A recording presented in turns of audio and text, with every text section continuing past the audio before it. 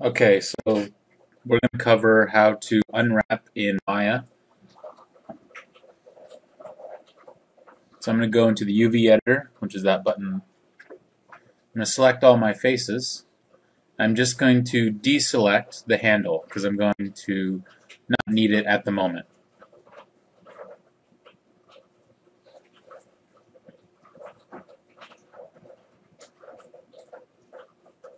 And I'm going to run a cylindrical map on this because that is the basic shape of this. And don't worry about the bottom UVs. Those are going to be taken care of right now. I'm just going to grab those bottom faces and run a planar map on them. Because they're flat objects, I don't need to worry about them.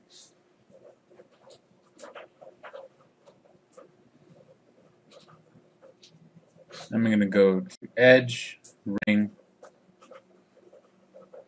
face.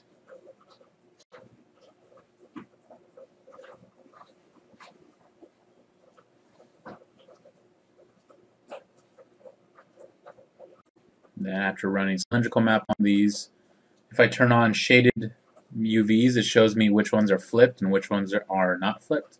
Red usually means bad. I'm going to cut this one corner and stitch it onto this other side.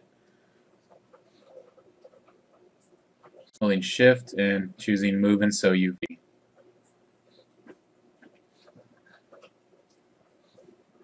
Flip these around. And now you'll see that they're correct, no longer overlapping. Edge, loop, stitch and sew UV, or move and sew UV. Now I need to cut this line here because I want my seam to run down that handle part. I'm going to edge loop and cut. and I'm just going to move and sew UV onto the correct edges.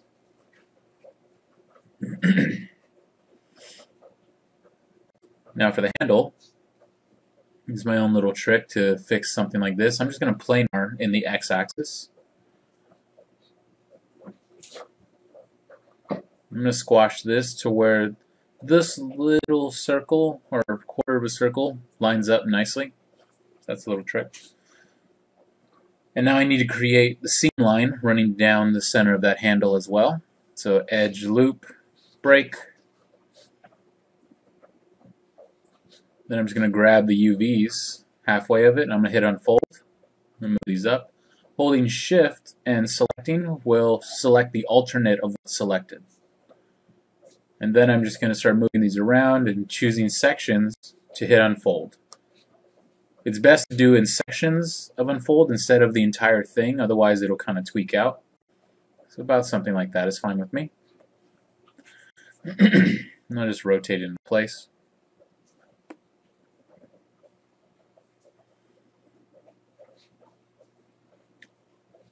So now it's nicely unwrapped. Now I'm just going to open up my Hypershade. And I'm going to create a new checkered Blinn shader. So I'm going to make a Blinn, middle mouse drag Blinn, or middle mouse drag the checker over the Blinn, and choose default. And if you don't see your texture, just hit 6 on your keyboard, and it'll pop up. If you graph the network, you'll see the 2D texture placement, and you can change how many times it's tiling but I'm fine with the number that it was set to originally. So right now I need to square out my UVs, and right now those uh, those little checkers kind of look like rectangles. I want them to look more boxy. So I'm just going to squash those UVs on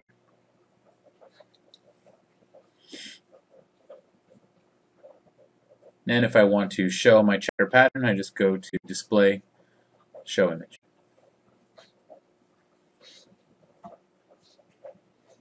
Then I'm just going to scale them out.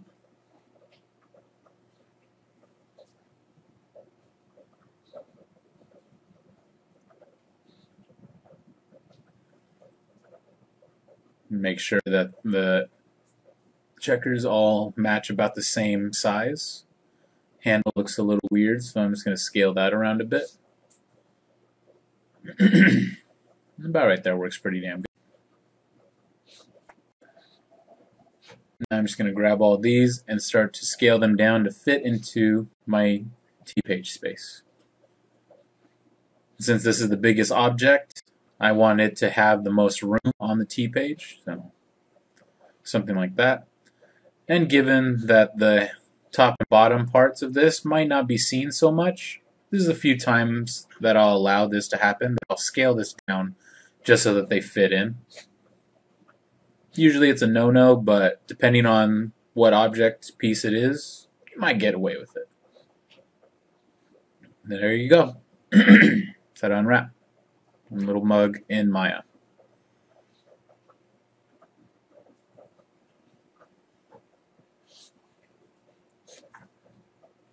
Next, we're going to cover how to unwrap this book.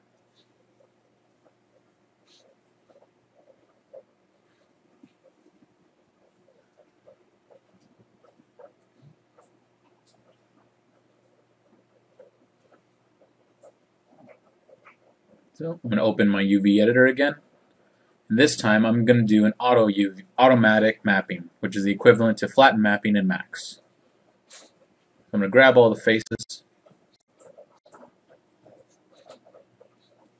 and automatic mapping. Gives me a lot of crazy stuff, but I know what I'm looking at. I need to just scale this up a little bit move these away. Holding control, clicking to shell, then moving. And I'm just going to do move and sew UV. Click on two edges, hold shift, right click, move and sew UV. And I'm just hitting G to repeat the function.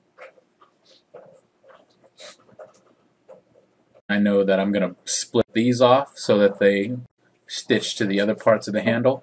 So I'm just going to cut those.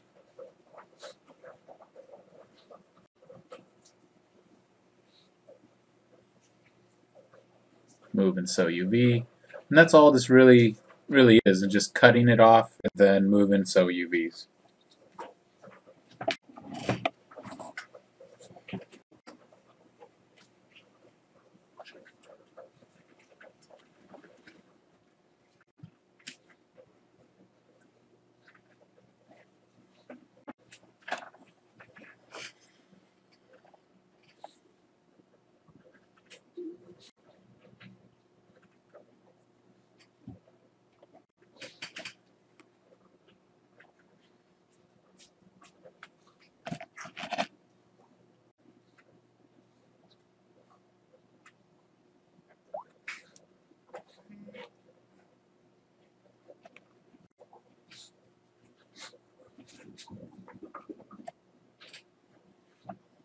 And just choosing the appropriate areas to split the faces off.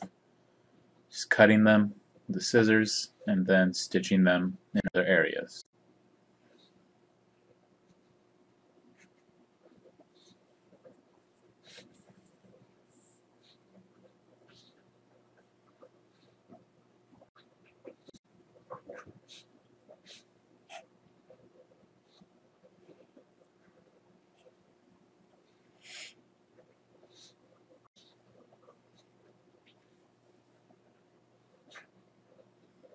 And now for all the pages, I'm just going to planar them in the x-axis and the y. Now that I got the x, I just need to planar them straight down on the y. And I'm going to rotate them to match the same of the x-axis. Then I'll grab all them, squash them to be about roughly the same size of what the model should look like, and then move them over. I'm going to scale them up so that when I add my checker pattern, I'll see what's happening. Open up the Hypershade. Create another Blinn shader, middle mouse drag checker over top and choose default. Hold down middle mouse or right click on the sphere and hit assign material to selection.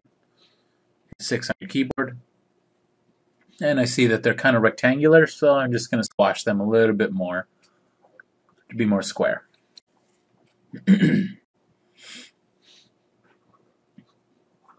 About right there is fine with me. And now just scale them all down to fit roughly the same size of the box.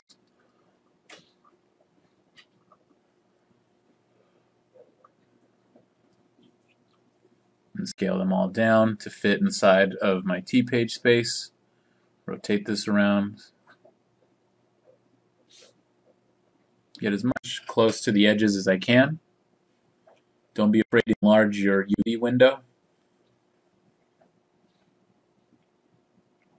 And just do some last minute stitching. Shift, move and sew UV, then just hitting G repeatedly.